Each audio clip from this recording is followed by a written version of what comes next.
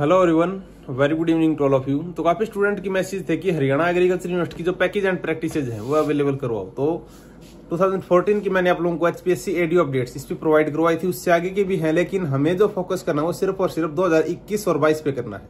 So I will try to आप जितनी जल्दी हम अवेल करवा सकेंगे, आप लोगों को करवाएँगे, क्योंकि पहले यहाँ पे ऑनलाइन अवेलेबल हो जाती थी, अब एच की ऑफिशियल जो वेबसाइट वहाँ पे अवेलेबल नहीं है, और आई थिंक ऑफलाइन ही मिलेगी अभी उस पर कुछ एक चार्जेस एच नहीं कर दिए हैं तो आई विल ट्राई की एज सुन एज पॉसिबल मैं आप लोगों को अवेलेबल करवा दूँगा। तो देखते हैं किस हिसाब से होगा।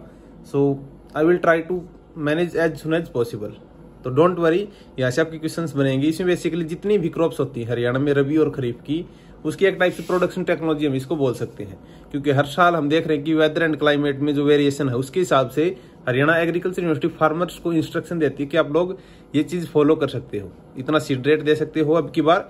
ये सोइंग टाइम रखना है। तो इसे बाकी इसमें कुछ खास नहीं होता, लेकिन ये हिंदी में अवेलेबल होती है।